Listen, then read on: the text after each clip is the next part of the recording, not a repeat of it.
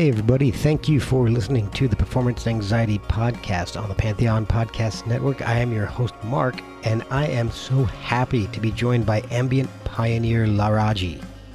We take a trip through his vast musical history, beginning with his early musical influences to changing his career path from architecture or engineering to music to his discovery of the zither in a pawn shop. Even then, his path to music was not a straight one. In fact, it began in comedy at the famed Apollo Theater in Harlem. Through performing his music in parks around New York City, he came into contact with Brian Eno. Actually, Eno approached Laraaji about recording together. He has a new collaboration with Christopher Bono called Nous. It's a very exciting variation of ambient music that kind of stretches the boundaries of that genre. And it all grew from using free association and just a musical key in the studio. So check out Laraaji and Nous on Our Silent Canvas Records. Follow Laraaji on social media. I'm pretty sure he's the only one there. Follow us at Performance ANX. Rate and review the podcast and help support it through ko-fi.com slash performance anxiety or performanceanx.threadless.com.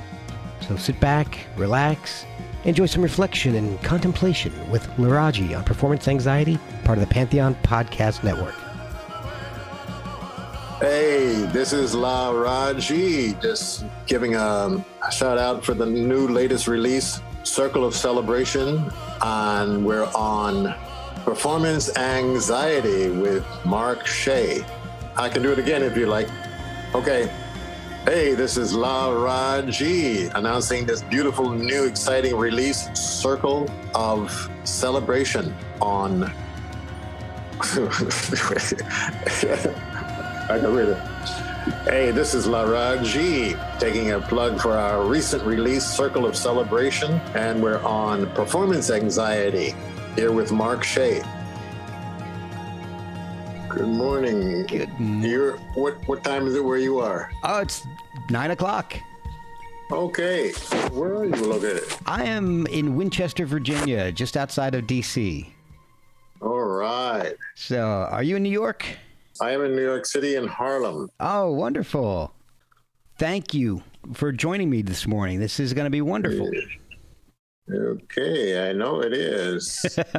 uh, I'm with uh, Mark Yes, Shea. sir. Yes, sir. Oh, All right, Mark. I've had so, so many people pronounce that simple name so many different ways, but you got it right. Really? Yes, sir. I- how many ways can you? How many ways can you pronounce pronounce Mark Shea? You can pronounce it Shia. You can pronounce it she. Um, Oh, I've got okay. all kinds of weird stuff. I know uh, an Irish friend of mine named Mike Dick Shea, so I'm used to pronouncing the name Shea. And you know, being in that tri-state area, you you know, you grew up with Shea Stadium. Oh yes, I did indeed. I did. Never been, never been in it. I don't think I've ever been in Shea Stadium. I was there once, once as a little kid, but I'm not a Mets fan. Now, the new album is it is is the project called uh, pronounced Noose or is it New? Or I'm not sure how it's pronounced. French spelling, French pronounce it now, Now. like in N O W now. Okay, okay. Uh, Yeah. I figured it wasn't going to be phonetic, so I was like, ah, I better ask before I mention it. Actually. Yes. so there's a little trivia questions, yes, about What I like to do is to kind of start from where your interest in music began. So that goes back a little bit to you know, you're born in in Philadelphia, grew up in New Jersey, went to college in D.C. When when did music really make an impact on you? well, Body was born in um, Philadelphia, Hahnemann Hospital. Uh, family moved from Philadelphia to New Jersey when I was at the age of two. And I earliest I remember of music is my mother singing around the house while listening to soap operas on, on radio. Oh wow! and uh, then in church the christian and gospel choirs sang on sundays so i remember the exuberance of the of the choir standing with their robes swinging side to side and the organ pumping and then there was the school public school system of Perth Amboy, New Jersey, which was pretty big on getting children to adopt to a musical instrument. And the earliest musical instrument was a tonette, a closed-in black fife.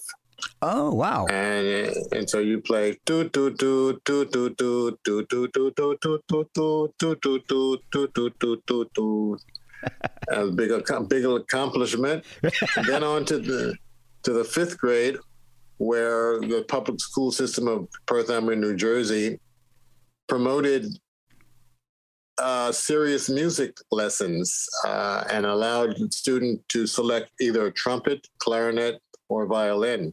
And I gravitated toward the violin immediately and started violin lessons, private violin lessons, and playing in the school orchestra. Oh, wow. Yep. And shortly after that, violin, piano. So, violin and piano were my two earliest serious music study instruments. And my teacher was Mr. Hudak. He was, he was this, the school, the Mean, the school system's um, music director. Uh, he was the orchestral director, and Mr. Jandarup was the band director. So I remember going, taking private lessons for violin and piano. And my mother noticed that I was very interested in piano earlier. During church services, I would opt to go and play the piano instead of going out to play it uh, during between Sunday school and church, and on Sundays there was a, this one hour of uh, militarized, demilitarized zone, or whatever you call it, where nothing was happening in the church, and I would take advantage of the piano, and my mother observed that enthusiasm and invested in a, a very inexpensive upright piano, oh. put it in the house, and uh, she noted that my interest continued to be true and and dedicated. So she sprung for piano lessons. And my earliest models of piano were Liberace, Oscar Peterson, uh, Erroll Garner, Andre Previn, Bill Evans, and of course Fats Domino, yeah. and little Little Richard, who showed me that you could bang the piano too and make a million dollars. At what point did you really decide you wanted to take music seriously and, and had thoughts of making it a profession? That's a very good question because up until maybe the second year of high school, I was pretty much impressed with the idea of becoming either an architect or a chemical engineer. Oh wow! And I and I had applied to all these colleges: Rensselaer Polytech, MIT, Stevens Institute, for their college catalog, which would come in the mail, a very thick book in an envelope. And that would be the delight of, of my uh, life at those times, seeing that large catalog in my mailbox. Yeah. And it would, it would just stoke the energies up to go to these colleges. So there I was planning an engineering career. And I'd taken all the right subjects in high school drafting, science, German, and somewhere around the second year, while uh, in my evening after school job at Robert Hall clothing store, a very slow night, uh, I was at the wrapping desk, and the two salesmen, people who were on duty, because it was a slow night, they were congregating around my clothes wrapping desk, just shooting the breeze and shooting the breeze means talking about their wives. and so eventually the subject got around to uh, me and uh, colleges, and they talked about uh, colleges, Howard University. They brought up the subject. I've never heard of Howard University. Okay. And they um, ran it with very high ratings as a black college and had a fine music school. And as soon as they brought that subject up, something went off in my adrenaline and uh, adrenaline, adrenaline glands or whatever. Mm-hmm. And I, I just got this picture, this big psychological download that music was where my heart was. That was what I was supposed to do. And so uh, in the next few days, I talked with my uncle and we planned to uh, a visit to Howard University to visit the campus. And uh, shortly after that, I had gotten accepted and I I got in some scholarships. Oh, and wow. I broke this broke this information to my physics teacher, who was very proud of me. He just knew I'd be the next genius physicist or whatever. Mhm. And I remember speaking to him in his office at, at school, letting him know that I was no longer interested in becoming uh, an engineer or a scientist, but I was now going to be a musician and to compose music. Wow. And at that point, I saw this famous smile. His name was Mr. White. His smile slipped from his face of approval. And I, I'd never gotten a smile from him again um, from then on, all the way up to the last year of college. Oh, Uh, yeah, so that was one of the sacrifices of of following your heart. yeah. There's definitely some Yeah. involved in that. yes. And so there I went off to Howard University and studied music theory and composition with a piano major. And I've never regretted making that choice. And nor should you. Where Yeah. where did the comedy come in? Because you ended up going to New York City to pursue comedy and acting. Yes. Well, I grew up in a very laughter friendly society from church to family.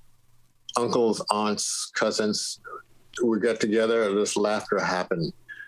And uh, so in school, I performed in comedy situations and skits very easily whenever the opportunity arose. In college, there was opportunities to be in a comedy team. I in college, I met such wonderful comedic talent and uh, two different comedy teams erupted during my college years and, uh, and during that time uh, the intensity of the comic impact on people drew a comment or a suggestion from some people that I should go to New York and try it at the bitter end, following the footsteps of Bill Cosby.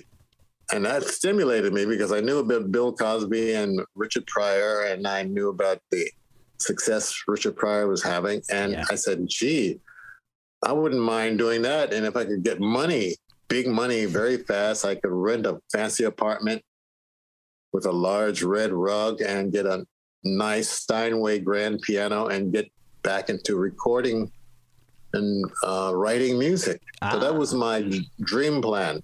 So I went to New York, tried it at the bitter end, and uh, got such a nice, encouraging reception that I went back to Washington, D.C., finished out the semester, and then moved to New York to pursue comedy and acting. Wow. Yeah, I uh, hooked up with a black theatrical agency who specialized in casting black actors and actresses. Her name was Ernestine McClendon, and her husband was uh, um, George Wilshire, who was a veteran vaudeville comedian who took me under his wings and taught me a few things and got me hooked into the uh, Apollo Theater Oh, wow. in Harlem. Got me to meet the Schiffman brothers, and uh, so I got to do quite a few shows with the comedy team of Wilshire and Gordon. Oh, my God. And then on my own, after Bob Schiffman developed some confidence in me, and I began opening and emceeing shows there with uh, Barry White, uh, B.B. King, uh, Joe Simon, Carla White, uh, Wow. and our and a very it's a I forget his name man who's the king rapper who was a love song, the heavyset man, uh, White, Barry White Oh, White. Barry White. Yeah. Yeah, and uh, those were some sparkling years. Being on stage with some of my favorite R and B and uh, soul singers. And, That's um, incredible. But yeah, that it was, and the comedy was pretty good because I I wrote my own material, but emceeing was a little tricky, especially at the Apollo. I remember one evening I had uh, I think I had a day job and I didn't hadn't slept the whole day. And so I went straight to the Apollo and uh, opened with um, I think it was um, Bobby Blue Bland Ooh. And then BB King was supposed to be second. So when Bobby Blue Bland was introduced, I figured I had 45 minutes to go up to my room and sleep. and uh, somewhere around an hour later, there's a knock on my door. you know, you're on, you're on. So I jump up from this sleep and I just run downstairs and run on stage and with my wits half about me. And I looked at the audience and says, Hey, wasn't BB King great? You know, and it was Bobby Blue who were just, and so I got booed. Oh. So there was a constant boo drone going on at the Harlem. And uh, that was the, that's called bombing. And that is a very isolating experience because my function was to stay on stage until BB King's was ready behind the curtain. So there I was on stage with a spotlight on me, and the audience was having their famous Apollo fun of boo- booing me. And well, I didn't have to finish my act. Booing was the act. Oh, no. Yes. So that was my one of my experiences at the Apollo. Wow. But uh, later on, I didn't realize that my being intimately uh, involved with productions involving soul singing and R&B and jazz, uh, and it infused in me a sense of uh, capability of handling those mediums. So they kind of that medium slipped into that influence slipped in some of my music later on when I joined a jazz rock band called Winds of Change. Oh wow! Played electric piano, Fender Rhodes piano, and guitar as well. And somewhere along the way, I've got the inspiration to explore and experiment with the electric auto harp. Right. Yeah. And yeah, and then my uh, some of my influences, jazz, and um, some rock, some R and B. I experimented with the instrument, but at that same time, around 1974 to 77, I was in residential transition from Queens, New York to Park Slope. And I moved to Park Slope. It was the ideal opportunity to hang out with a very hippie experimental musical community there. And so I had my electric auto harp, and there was jams and coffee houses and lofts and on the sidewalks of Brooklyn, which was a pretty hippie, bohemian, laid back place at the time in Brooklyn, New York, Park yeah. Slope. As a result of that, I did, I went into like a non-specific genre with the zither, playing in all kinds of uh, musical situations that strengthened my vocabulary with this new instrument. and eventually, uh, working in a coffee house called the Aquarian Coffee House, okay. Park Slope. The, my job there was to prepare the coffee house on opening every morning. And one particular morning, I'm playing the radio, which the mid speakers are pumped out onto the sidewalks. They're early in the morning. And uh, I'm noticing two nuns are standing outside the coffee house listening. And I hadn't noticed that the radio station I had on was playing music by Steven Halpern and Yassos called Christening for Listening. And so I listened much closer to that music and I was amazed at the form. It seemed to drift without trying to rush to a close or a, or a beginning. And it seemed to represent a, a super positivity in the music, Christening for Listening. So that was my introduction to the direction now called New Age music. Steven Halpern might have played some role in getting that name to stick for the industry. Okay. So there I was now exploring this with confidence, this music that was being inspired out of my meditation experiences, of this uh, music that was hyper positive. It was not about the human emotional experience on the ground, suffering day to day. Right, right. But it was more the uh, the spirit connecting with the, the consciousness that there's eternity, there's a unified field, that uh, there is the supreme creator who is not a distant, far off, uh, hard to contact energy, but there is, but which is in the self, the cells, the mind, the brain, right where I am, yeah, available for a personal, intimate um, relationship. And that sense of personal relationship with the actual creator just gave me a sense of positive security that shined through my music. And as my vocabulary for the instrument, this new instrument, electric open tune auto harp, advanced, I started playing on the sidewalks of Park Slope, then uh, Manhattan, around the Museum of Natural History, the the zoo, Central Park, Washington Square Park, yeah. parks and plazas in New York. Right. So here I was earning a living by exploring and experimenting with the idea of performing while in conscious communion with the infinite field. That's amazing. And the music would happen.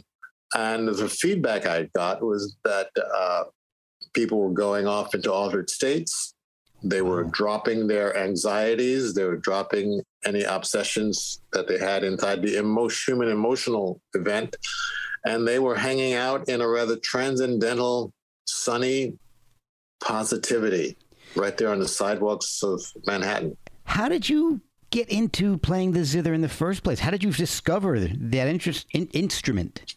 Well, a quick one that doing my comedy years, stand up comedy in the village, Greenwich Village, New York, the Hootenannies playing at the, uh, the different, well known, the Bitter End, the Champagne Gallery, the Gaslight, they all had talent super hoot, Hootenanny nights Okay. where artists could come in and sign up and then go on very late. And I did that for comedy. And uh, com- comedians usually were sandwiched in between musicians. And one night I was sandwiched between somebody and a bluegrass, Kentucky bluegrass ensemble. And the ensemble consisted of, I guess, bass player, guitar, drummer, uh, and auto harp. First time I saw an auto harp, Wow. and something clicked inside of me, like I made a connection from a previous life or whatever, Mhm. but a profound connection. Uh, and I noticed the instrument, but I wasn't clear how you would get your hands on one. And I discovered later on that they were in the school systems of New York Oh wow. and then an Appal- Appalachian auto harps. So they were very easy to learn because you auto harp meant it was automatically chorded by pressing chord bars on the instrument. Oh, okay. Yeah.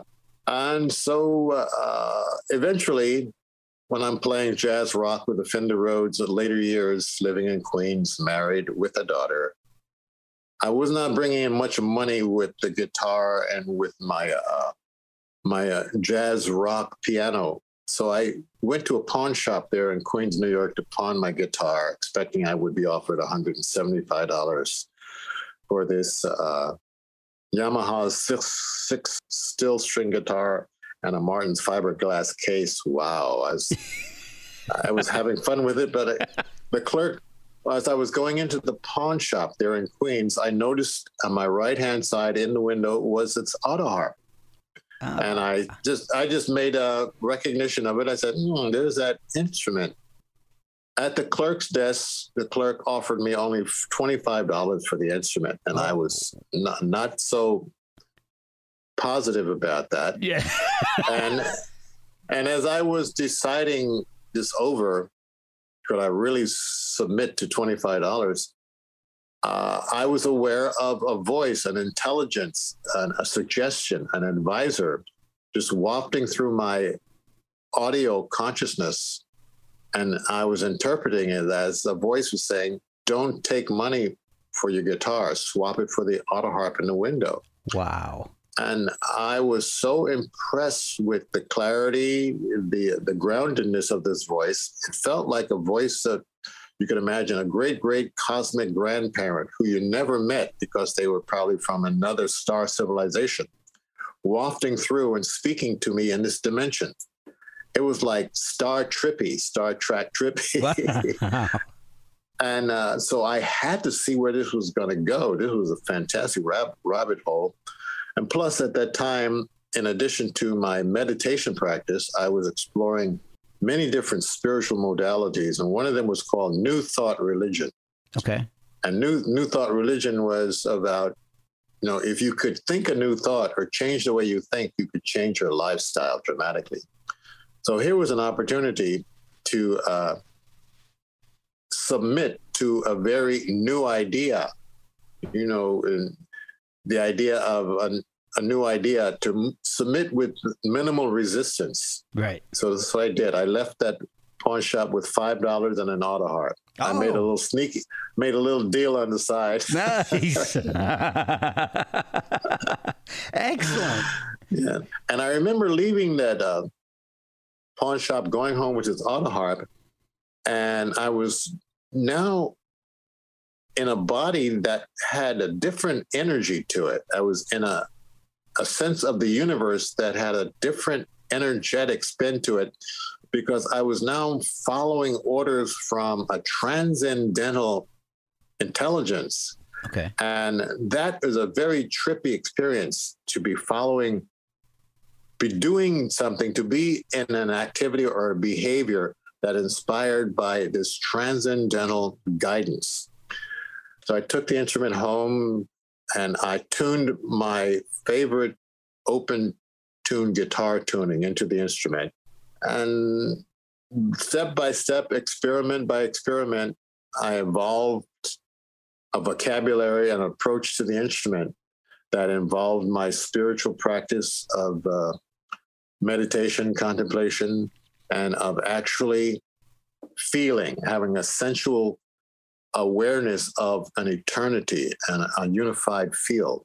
And all of these things were slipping into my instrument. And now and then my influences from the from uh, Apollo Theater would slip in, sort of jazz oh. rock rhythms or uh, R&B groovy chords, hanging out with a groovy chord, D minor seventh. Oh, nice. D minor ninth. And eventually, when our family moved from Queens to Park Slope, I continued exploring and experimenting with this open tune auto harp. And the community, the musical community of Park Slope, provided a wonderful wood woodshed for me to develop the instrument and play on the sidewalks of Brooklyn and New York, and eventually get invited to play for street festivals. Oh wow! Yeah, and uh, you're basically teaching yourself how to play the instrument at this point. Then, yes, and of course, since I had gone to college and I learned the piano, and being in a music school, I learned how to play band instruments too, part of the curriculum. Right. And so I had this sense of how to invent exercises to develop on an instrument. And so I used my technology, how to develop a vocabulary for a new instrument. It's okay. just turn the tape recorder on and explore, bang, hammer, strum. And after an hour of listening back to the tape recorder, hearing things that were interesting and picking those things out and building an exercise around them and doing that exercise for a hundred times to get it into my subconscious mind. So I developed this vocabulary effects and approaches and patterns and and treatments for the electric auto harp that allowed me to perform for hours and provide music that was relaxing. It would uh, help people to neutralize subconscious stress patterns and provide people with a, a, a musical soundscape that provide that allowed them to sit or to rest in their more positive, euphoric, blissful options. Of, okay. Uh, we'll be right back after a word from our sponsors. I want to take a minute and talk about our sponsor, Tiesta Tea. Tiesta is a tea company on a mission to create loose leaf tea beverages with premium ingredients that taste good and do good. Each tea is blended for one of five categories so you can energize, slenderize, boost antioxidants, boost immunity, and relax. My current favorite is Blueberry Wild Child. You know, when I was growing up, my dad always told me Once you go loose, you never go bagged. You know what? He was right. Go to tiestatea.com and use the promo code anxiety15 at checkout to get 15% off your order. Think you know tea? You haven't tried Tiesta tea. How did this all grow into your first album, an actual release? Well, uh, uh, I began getting requests for cassette tapes, and so I started okay. developing my own recording situation situation at home and recording individual cassettes at a time, one at a time. Wow. uh, that, that would get me an extra 10 or $15, a couple of them on a daily basis.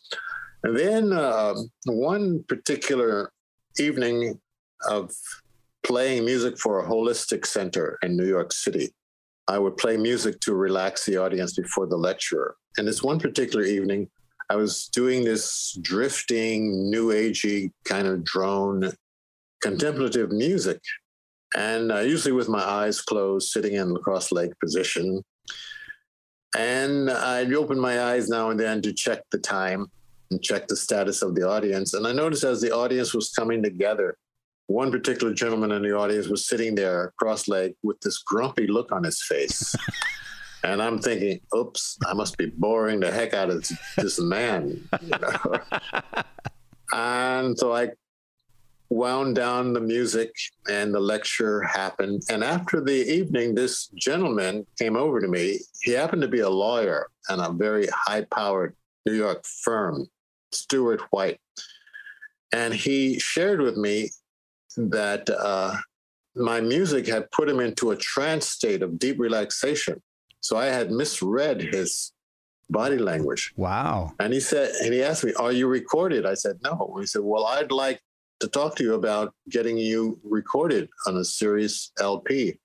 And so, to make the long story short, within the next three months, he connected me with ZBS, a recording studio up in North in New England that was famous for recording the Firesign Theater.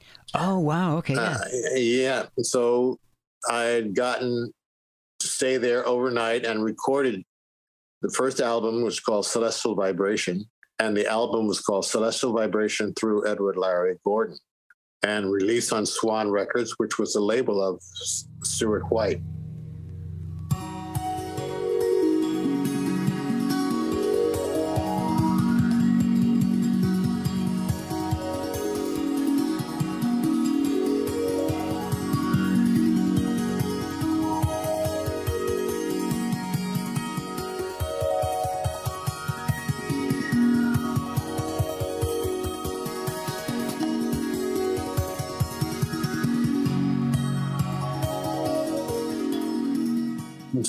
Uh, it was uh, it was released locally and released through a record company called Relaxation Music.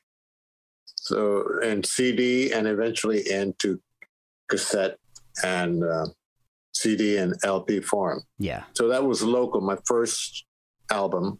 A year or two later, Brian Eno discovers my music while while I'm playing in Washington Square Park late one night. Wow. He leaves me a message that he leaves me a note ripped from his notebook, and on it, he uh, in the note he expresses his interest in talking to me about recording on a project he's working on.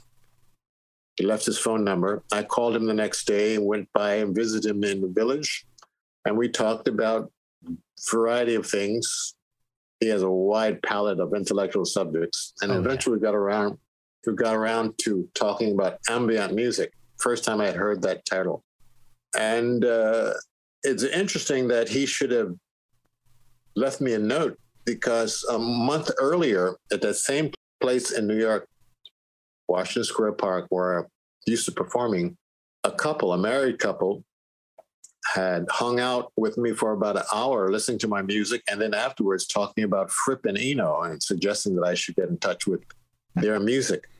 Uh, so I didn't have a chance to I didn't have a chance to check it out before Brian Eno showed up and left me a message. So we agreed to go into a local studio on Green Street there in Village and record for this album series, his Ambient series.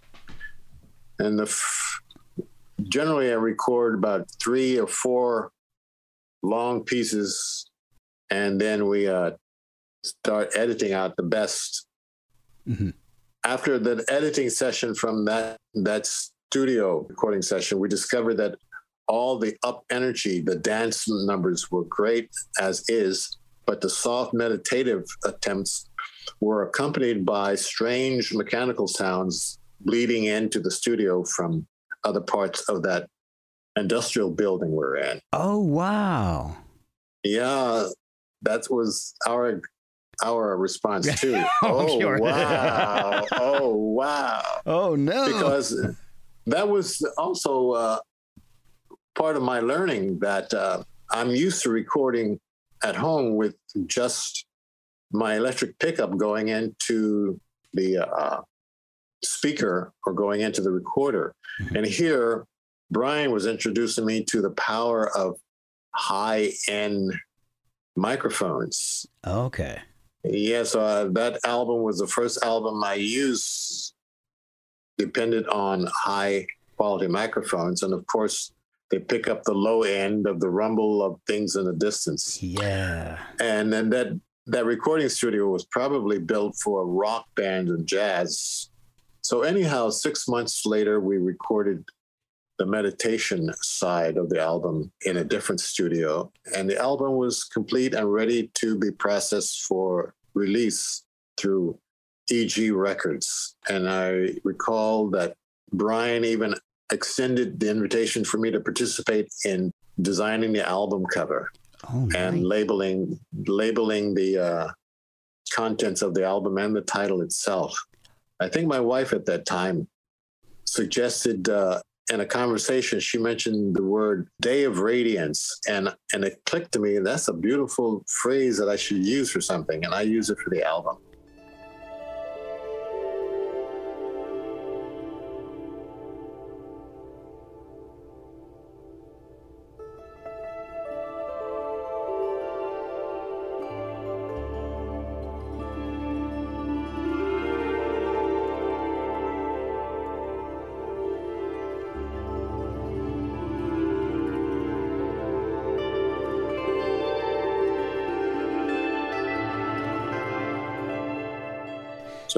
There it was. My first internationally released album was 19, 1980 uh, and 1979. The first real recording was in 1978, Celestial Vibration. Yeah.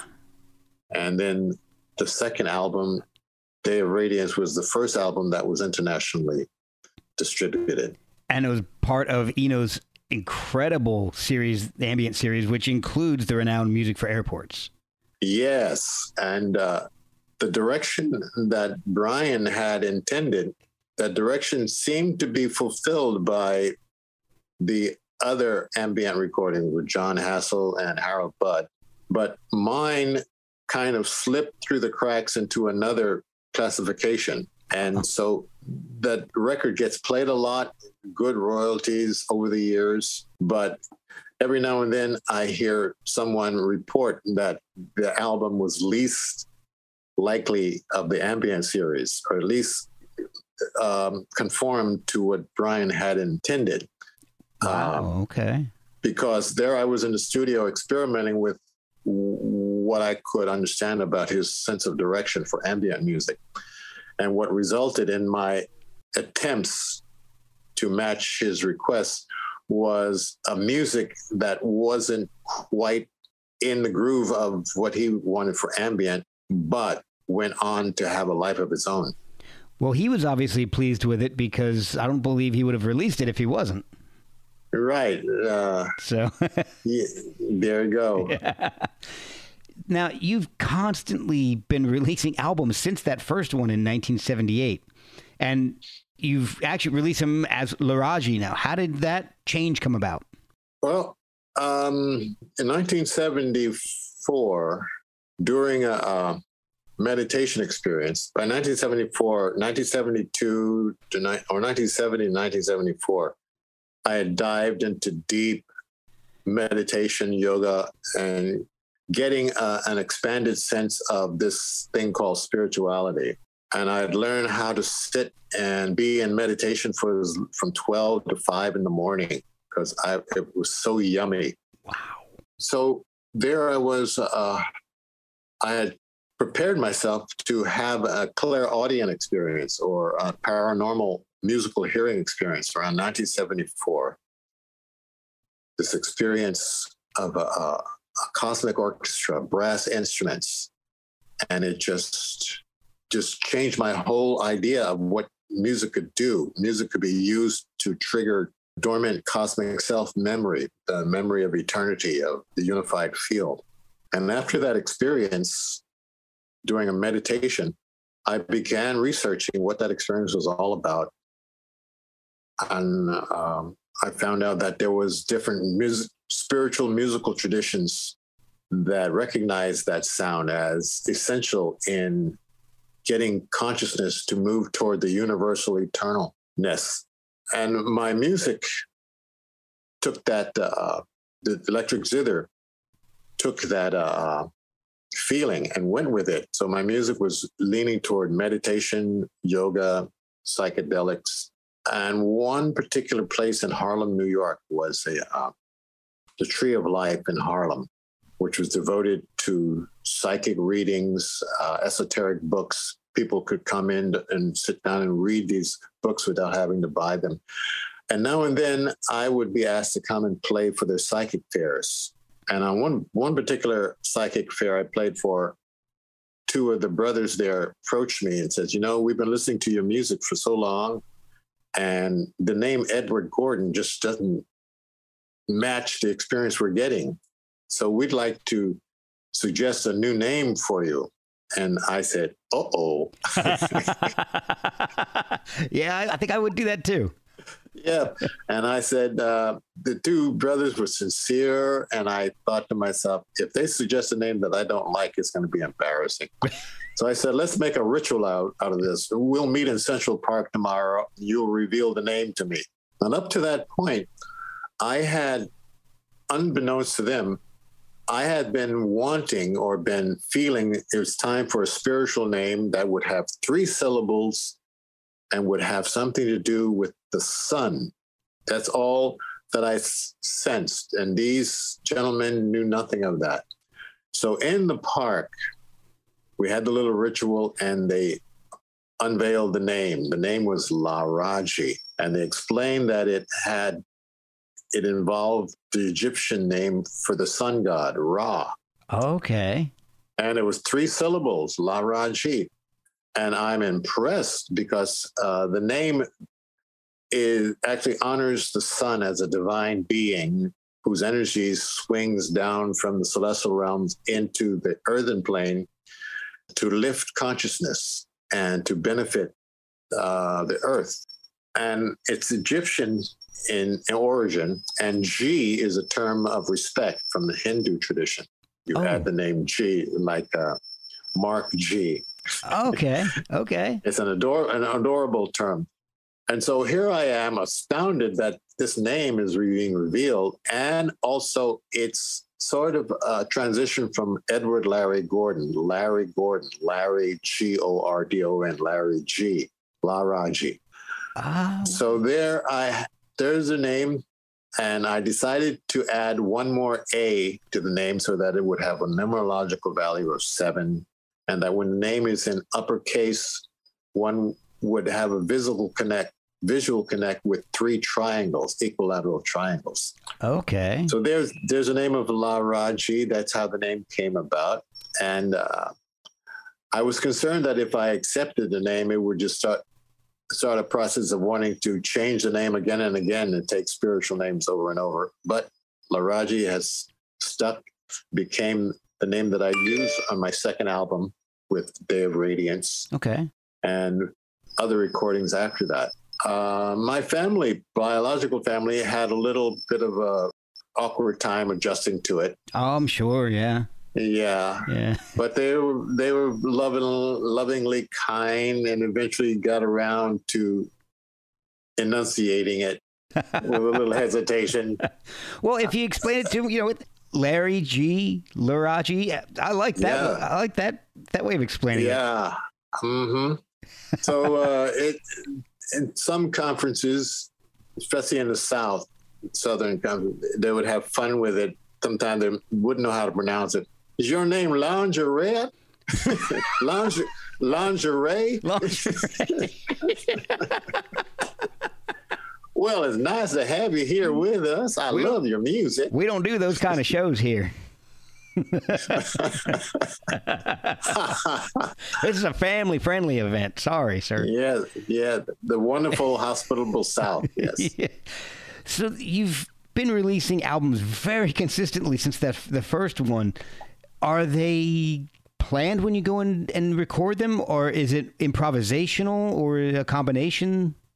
it's improvisational and usually when i'm going into a studio to record is because the producer or the sponsor likes the experience they've had of hearing me live Okay. and so there's that agenda going on they're not telling me what to play or what key to play it in but there's that feeling or the intention i usually have when i'm performing is to drop people into a shift, a shift in their trance, a shift in consciousness, a shift in their mood, to uplift the spirit and to remind the spirit that it has the options of being in bliss, of being in a sense of connectedness to the unified field or feeling secure in an otherwise shifty universe.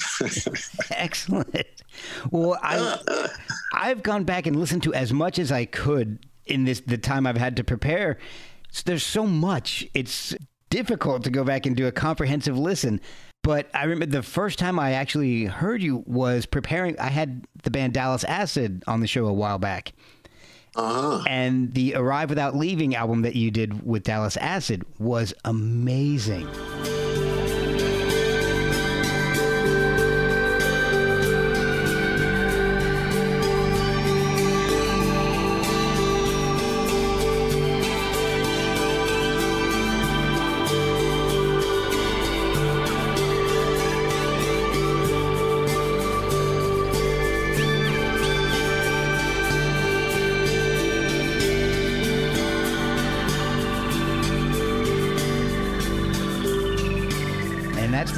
I really took notice of ambient music, and it kind of. I had a, a preconceived notion from you know growing up, and my mom listening to. Uh, I'm trying to remember the the artist that she liked, um, Andreas Vollenweider.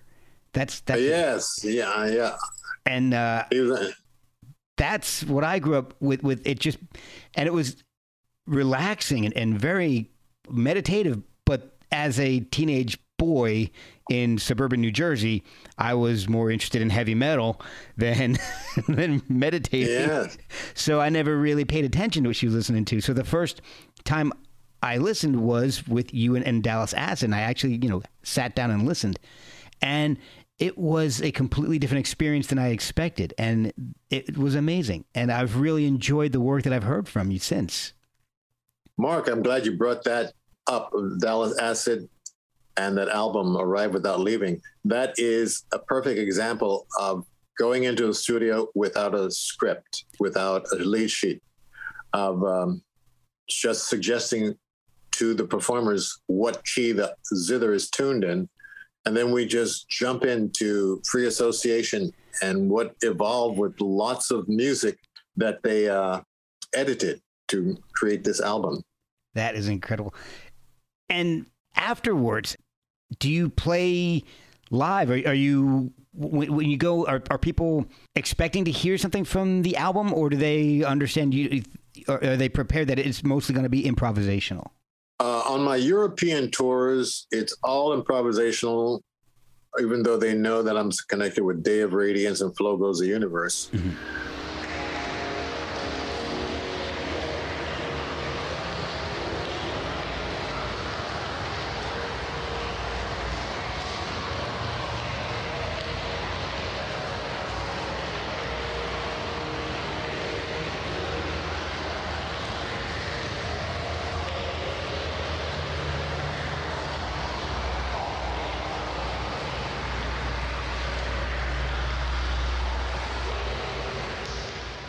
It's just within a few years before the pandemic, now the pandemic, pardon me, happened.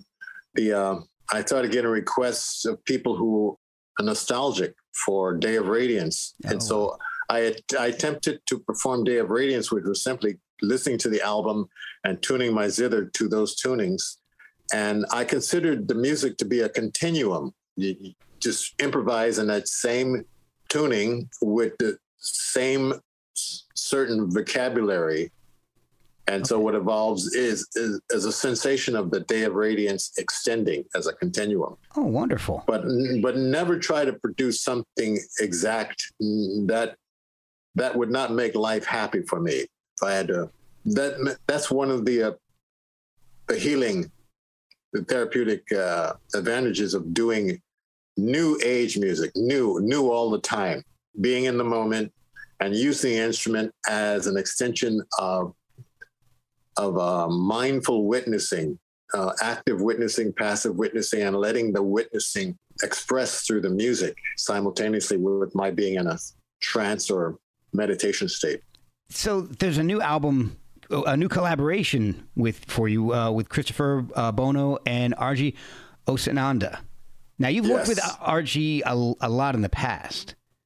Yes, she grew out of my um, associations with the, the sound healing community. I met her doing a, a sound healing intensive in Loveland, Colorado, and uh, the name was no accident.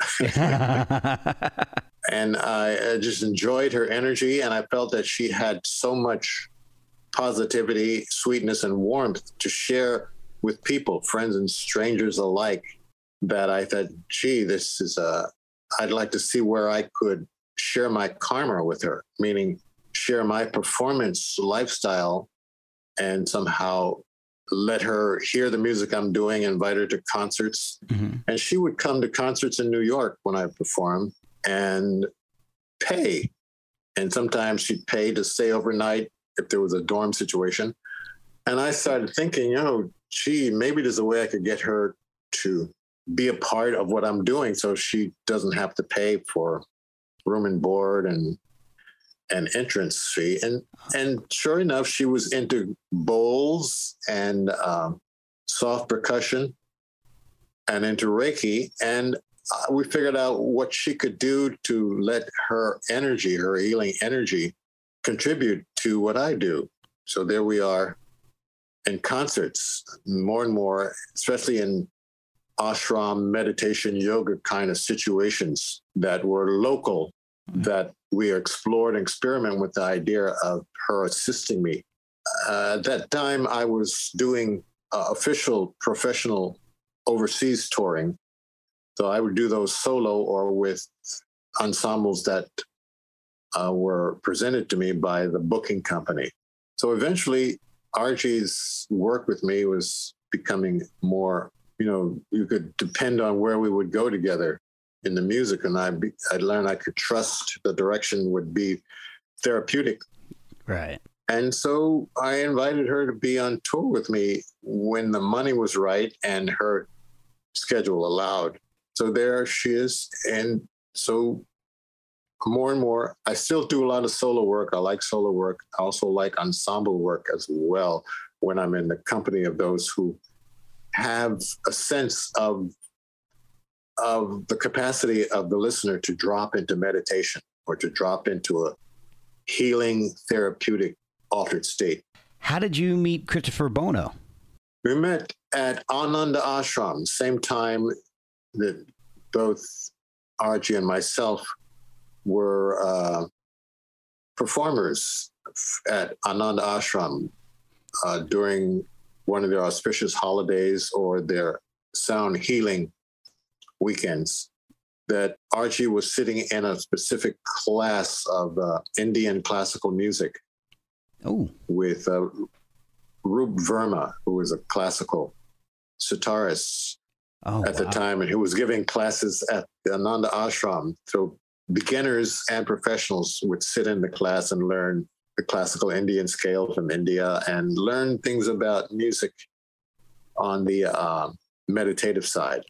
And so at that particular weekend, Christopher Bono met Arji, and they continued their meeting into the cafeteria or the lake house. So dinner time, Christopher is sitting around the table with myself and Arji, and we're talking. And Christopher at that time is unaware of my track record with music, but he's sort of vibing on our energy. And he's deciding to take a chance with us. And whatever you do, I'd like you to come and be a part, find a way of being a part of my experimental music production that I'm producing in Hudson, New York, a month from now. And so we show up and perform, and he's loving it. And he's deciding, hey, I'd like to invite you to a, a recording session I'm doing up in the Woodstock area next month. And we show up and just drop into this this uh, big recording studio with instruments everywhere, musicians everywhere. We just drop in, plug in, and take off. wow, well, I get that feeling listening to the album. It so the the project is called Nous, and yeah. This is what the, I think the third installation in the project, or is it the fourth? Uh, yeah, uh, I'm not sure. I'm aware that there are other projects lying around. So, um, and and like you, I was experimenting with the pronouncing pronouncing enunciation of the name. Yeah. And until eventually Chris reminded me that it really about now. It's another way of saying now. Now, now. Why uh, I keep saying yeah. that? I'm, because it looks like news. It, it looks does. like news. It does. And but was, you even told me that in the beginning. yeah. Uh, it took me a while to get out of it too. I keep saying now's the news, but now. Now. Now now it's now. It is it's now from now on it's now. Yes. One of the things that I really enjoyed about listening to this was the laughter in the music. There is a lot of laughter from you and from Arji, and I know you do laughter workshops. Is yes. Is that part of the reason for the having the laughter in the music of Nous? Well, yes, it's part of the reason because I'm doing so many laughter workshops around the world. They're now called play shops. Okay. Uh, uh, you develop uh, an, uh, an, laughter by itself is already contagious and infectious. And doing the workshops so often that my own laughter became more and more infectious and contagious. And I got it. Duh. why don't you use why don't you use laughter in performance as a healing performance art? You know, the laughter has so much uh, positive, luminous energies to it to release energies, to release people from stress and struggle and claustrophobia and resistance. That after developing the ability to laugh on cue, why not use that ability as part of my performance art?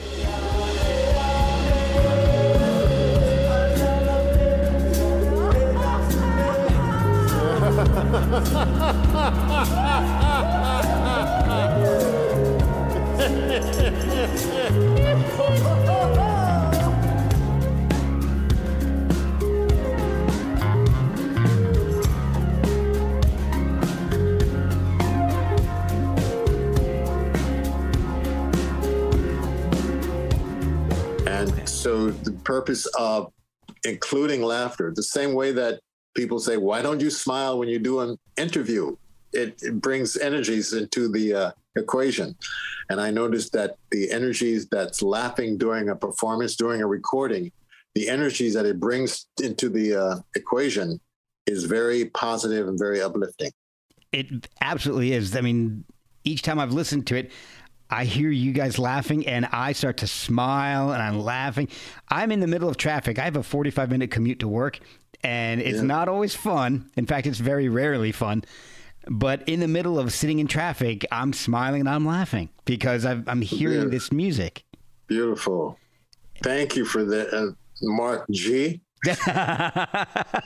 well, thank you for that. you got a nice infectious laughter too. Thank you. well, I really enjoyed the music, and it wasn't exactly what I was expecting. Like I had mentioned before, I was expecting something maybe a little more ambient, maybe even a little more like the Dallas Acid album. But there are tracks like Connecting, Hari Ram, uh, Giving Praise, with sections that are actually quite heavy, musically speaking.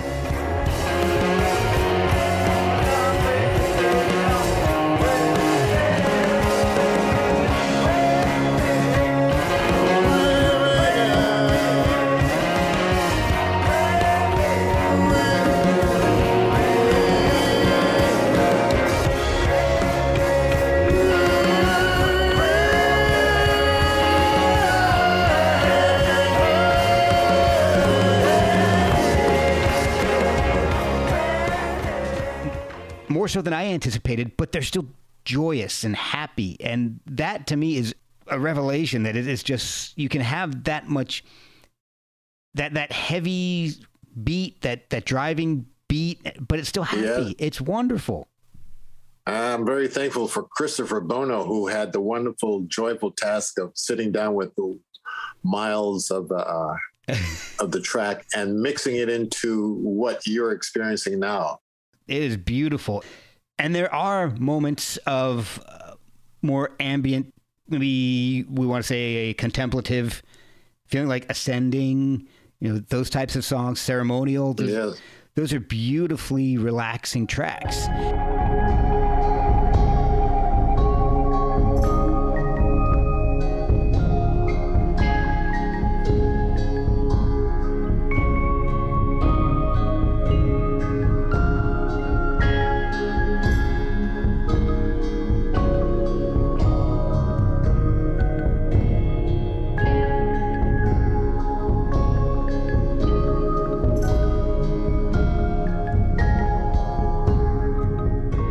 This album, the songs just seem to move and grow and change.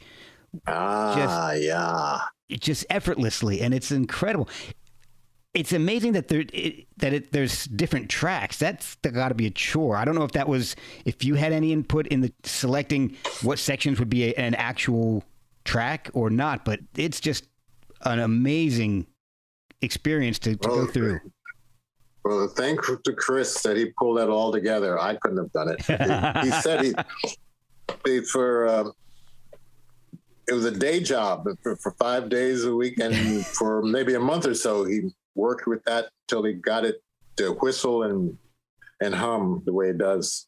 I think he he did an amazing job, but it it couldn't have been what it is without you and Arji in it. So it it's just a wonderful culmination of all of you. And I know there's a several other people involved, like Thor Harris, who I'm a big fan of too. Mm. There's a a whole lot of wonderful musicians on this album too.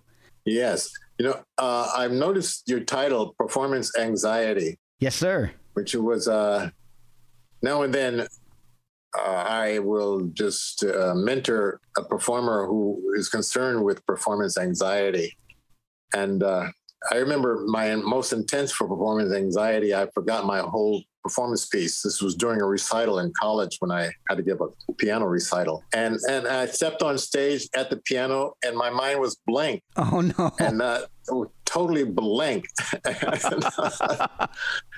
I'm saying, "Where are you? Where where did you go?" That my whole preparation was just nowhere to be found inside my my my mind. Oh my and uh, that was the most intense experience. And then, of course, being on stage at the Apollo Theater, I learned how to get over performance anxiety. One is be prepared. Yeah. And uh, be, be prepared with something that you feel good about. I say that if you've got $20 in your pocket and you know that if you go out in the street and pull it out, you can give that $20 to somebody and they'll gladly take it because you know you're in touch with the value of that $20. You're in touch with people being open to be receiving money. Yes. So I say if you can get in touch before a performance with the value of what it is you have to share, and you, gee, I can't wait to share this. This is groovy. Yeah. That's one of the things that helps get over performance anxiety is to have confidence in what it is you're about to share. Either you rehearse the spirit of what you're going to offer, or re- in my case, I tune the instrument until I get to a tuning that is so yummy and luscious that I just can't wait to share it because I know it's going to invoke certain emotional euphoria in a listener. Mm, and so the performance performance anxiety doesn't have a chance to get a hold of me when I feel that I've got something that I want to share that I believe in. And another thing that helped performance anxiety was studying some of the principles of Tai Chi Chuan.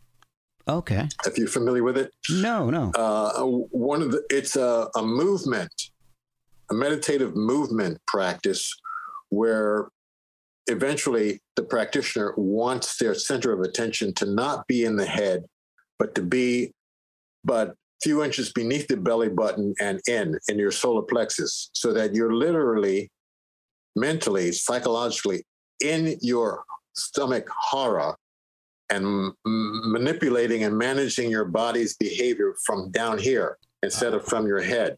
Oh, So okay. when I'm out of my head, performance anxiety doesn't exist.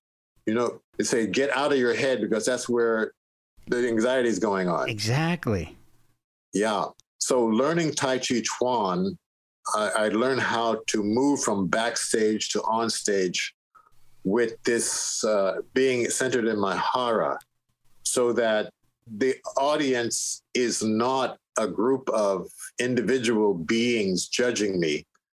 I'm instead, I'm moving in relationship to a universal chi, ener- chi energy field. So the energy field is my audience Oh, wow. not a particular yeah so that's a different attitude i'm not performing for individual ego systems I'm, perfor- I'm, I'm performing within and as a unified field if you want to call it a divine transcendental non-polarizing ego field wow. and so the direction of the music is much different. I'm in trance, I'm in centeredness, and I I really love what it is I know I'm going to I'm bringing to the audience, to the listener. Oh, that's beautiful. That makes me think. Uh, uh, I have question for you about the laughter. Then is so you started off in comedy, and now you do laughter workshops. Was were the laughter workshops because you have a comedic background, or maybe was the comedy maybe a primitive early attempt at doing a laughter workshop for an audience? Well, my uh, as you said at the beginning of it all, I just loved seeing the human physique buckle over and lose control. Especially in my, I grew up in a government housing project in Perth Amboy, New Jersey, and uh, there were quite a few rough and tumble fellows in the neighborhood who would like to rough and tumble with you for the least provocation. Uh, yeah. So I learned that knowing jokes or being able to get someone into the laughter zone very quickly would, uh, you know, reduce the sense of separation. As I learned about laughter, laughter is the shortest distance between two people. And if you can collapse that sense of separation between you and a potential adversary, you can buddy up to your uh, to your friends very fast. So Okay. I learned the power of comedy and being able to invoke laughter very young in life. Uh, when I got to college, did comedy beyond college into the Greenwich Village doing stand up comedy. Stand up comedy alongside of my investigation of spirituality. Eventually, I found out that there was something called laughter meditation. And that was a way of getting people into the laughter by just waking up in the morning and laughing for 15 minutes. Okay. And so I practiced that. I, I liked the results and I developed the workshop around that. Osho Rajneesh was the teacher at that time who put that suggestion forward. And so there I am guiding a laughter play shops. And I'm no longer in the late hour. I'm performing around, performing with audiences that are on same floor level with me, eye contact, daytime hours, and a therapeutic yoga set setting. So that developed over the years, got bigger and vaster. I like to think of the biggest room in the house. You know what the biggest room in the house is, Mark? What's that? The room for improvement. Oh man. So the laughter workshop developed, kept improving over the years, and got to where I can go three hours now with a, a very yummy experience. Typically, it's an hour and a half to two hours. oh my gosh. Wow. And and Ar- Arji was one of the biggest room for improvements. Her addition to the workshop, the play shop, it made a big improvement of uh, getting people to relax and remind them that there's still laughter in you. We can find it. We can bring it forward. So you grew from laughter as a defense mechanism to a healing power. Yes, and thanks for making that connection for me. Yes. Well, Laraaji, thank you so much. I know your battery's running low, and, and I've kept you for quite a while, but I absolutely love the the album Nous. I'm gonna yes. get that right. There we go. All yeah. right. Just keep saying it. It'll start to click. But I'm going to be uh, exposing as many people as I can to it. I know a lot of people who will really, really enjoy this and hopefully feel the same things that I feel when I listen to it. So, how can people find the album and, and pick it up and, and experience it themselves?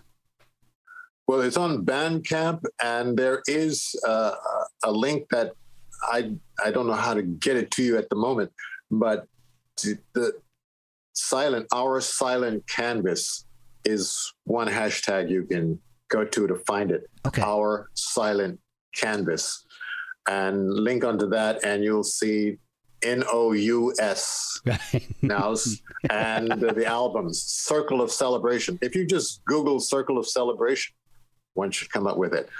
Also on my uh, my uh, Instagram, Instagram. Don't ask me how do you get to Instagram. I, I'm still figuring it out, but it's there. I don't know how I get to it. And and Facebook uh, and Spotify. You can find it on Spotify. Circle of Celebration. Excellent, excellent. So you're on Instagram, um, you're on Facebook, so you have a lot of the social media connections, and I'm assuming that's yes. Laraaji or is, is there is there a, yes. different? Yeah, Laraaji. If you Google Laraaji, what what whatever I've done comes up. Okay, and that's L A R A A J I. Correct. Excellent. See, I got that right. I'm still struggling yeah. on now, but I I got your now, name right. There. Now, all right. well, um, thank you so much for spending so much time and delving into into your history. It's been really wonderful. Beautiful. Peace, light, love, and common sense. Yes.